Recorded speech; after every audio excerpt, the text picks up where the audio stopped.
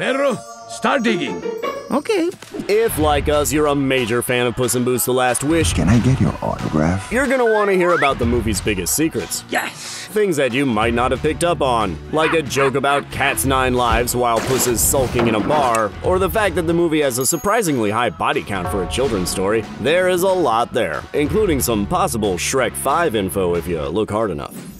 Number 1. Besides watching Puss in Boots' 8 deaths, there's also an interesting moment that foreshadows his ninth. When the wolf tells Puss his true identity, the story's hero is drinking out of a cup, with 8 empty cups on the table. This symbolizes the fact that Puss is on his ninth life, and the wolf is here to take his final one away from him.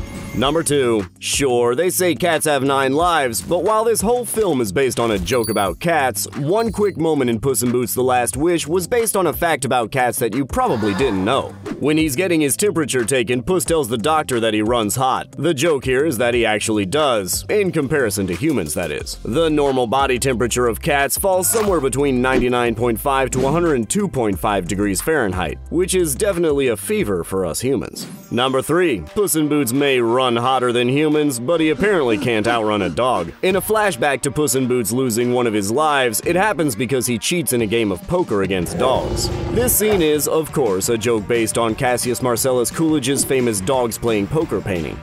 Number 4. Speaking of yikes, let's talk about death, baby. It's pretty surprising when the wolf reveals that he is actually literally deaf, but you may not have been so surprised if you were able to catch all the subtle signs. First of all, the wolf wears a black hood and carries a sickle, and while it may have seemed like this was just because he was creepy, in retrospect, it's clearly Grim Reaper inspired. There's also, of course, the skull shaped patch he has on his face. In fact, skulls often show up around the wolf in various ways before he announces his true identity. Did you notice that on the title cards for each of Puss's eight deaths, the wolf appears in the border of the screen? There are also some more complex hints, like when the wolf puts coins over his eyes.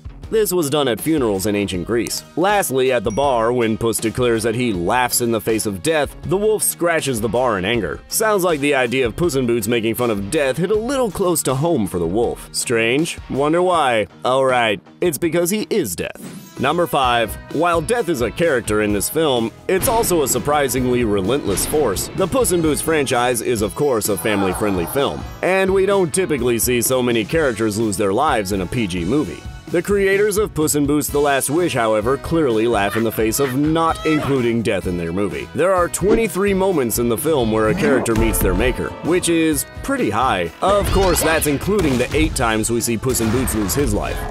Number 6. Did you catch Pinocchio's cameo? Folks are fleeing from Big Jack Horner's performance to see a one man puppet show by none other than Pinocchio himself. This is surely meant to be one of the performances that Pinocchio does in his own story, which may mean that these two films overlap on the timeline. Number 7. So how does the film overlap with Shrek on the timeline? Well, we may be able to tell by one particular cameo. The Wicked Witch makes a sneaky appearance in the movie that leaves us questioning how this may be related to her role in the Shrek franchise. The Wicked Witch is in the waiting room when Puss in Boots is leaving the doctor's office. Number 8. This brings us to an important question. What is going to happen in the rest of the Shrek franchise? Puss in Boots The Last Wish may have given us some hints. The flashbacks to one of Puss in Boots' deaths involves Gingy. Does this mean that Puss in Boots The Last Wish happens after the next movie in the Shrek franchise? It's certainly possible, but we just hope nothing bad happens to everyone's favorite gingerbread man. Number 9. While we don't have a release date, it's been confirmed that Shrek 5 is coming. It would be interesting if the next installment in the Shrek franchise were to coincide with the story that's being told in Puss in Boots. And we have reason to believe that this may happen, and the reason why lies in the final moment in Puss in Boots The Last Wish. At the end of the movie, they're headed to far, far away, which may mean Shrek 5 will pick up where this movie left off. Needless to say, we're pretty excited about that possibility. Number 10. Who doesn't love Jimmy Stewart? Well, apparently no one, and that includes the minds behind Puss in Boots The Last Wish. In the film, the ethical bug is basically the angel on Jack Horner's shoulder. The ethical bug was the first acting credit for Kevin McCann, who is actually a DreamWorks production supervisor. Yet, even though you haven't heard Kevin McCann as the voice of a character before, there's a good chance that you recognized his voice. Oh my word, it's the noble Phoenix! McCann clearly modeled the ethical bug's voice after actor Jimmy Stewart, Well, what do you mean? Nobody's trying to steal anybody's girl. and this choice has many layers. First, it's a nod to the name of another guidance giving insect, Jiminy Cricket in Disney's Pinocchio. While this may be the obvious symbolic reason for a Jimmy Stewart inspired bug, the other reason has to do with a beloved holiday movie. Just like Jack Horner, Jimmy Stewart's classic character George Bailey also has a guardian angel in the film It's a Wonderful Life. And now, from a man with a guardian bug to the little girl with bears for parents.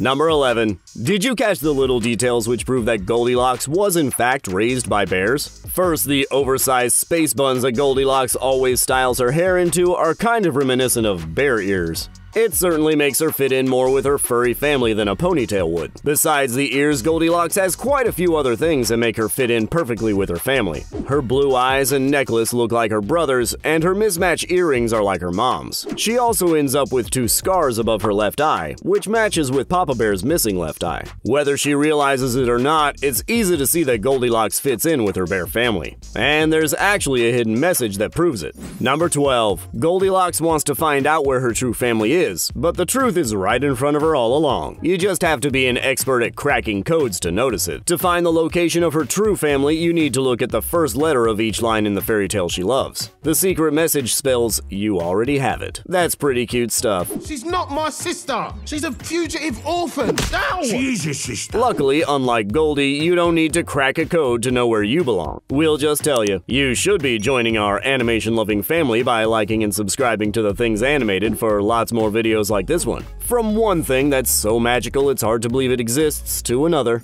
Number 13. We're talking about hornless unicorns. In this case, though, it's not actually horses. It's unicorns that have been dehorned. When Big Jack Horner is getting his baker's dozen together, the horses that are seen pulling their carriage are actually unicorns that have had their horns cut off. Yikes.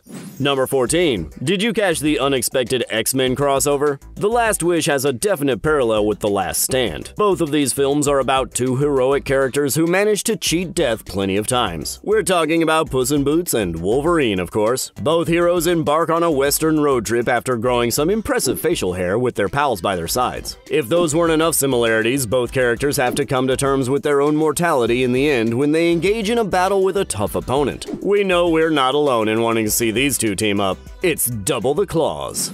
Number 15. No one could have expected a crossover between Puss in Boots The Last Wish and X-Men The Last Stand. But there's a parallel to a movie that might be even weirder. Puss in Boots The Last Wish includes a surprise reference to a very well-known and frequently memed moment in The Wicker Man. Not! Bees! This choice is made all the more interesting by the fact that Nicolas Cage actually originally turned down the role of Shrek. Could this be a cheeky nod to what was surely a big mistake on Nicolas Cage's part? Which Puss in Boots The Last Wish secret surprised you the most? Let us know what you think in the comments, and for more videos like this one, make sure you like and subscribe to the Things Animated for plenty more videos about your animated favorites.